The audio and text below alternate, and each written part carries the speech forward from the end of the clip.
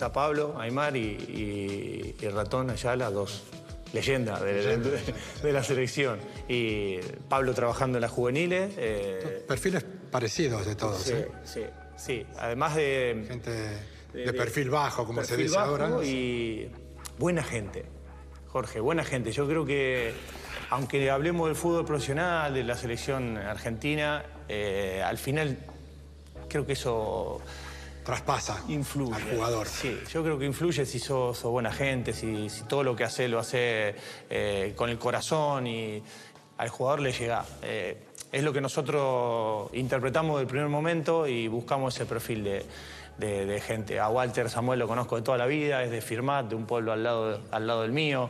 Eh, a Pablo de la Juvenil, es de Río Cuarto, el ratón es de Paraná, gente, gente campechana, gente de bien. Y al futbolista le podés mentir una vez. A la segunda ya, y ya cuando le mentiste, la situación no es la misma. Sin embargo, si le decís la verdad, aunque le duela el primer día o el primer entrenamiento o el primer partido, y ves que, actuamos de la manera que, que actuamos, eh, al final el jugador lo entiende.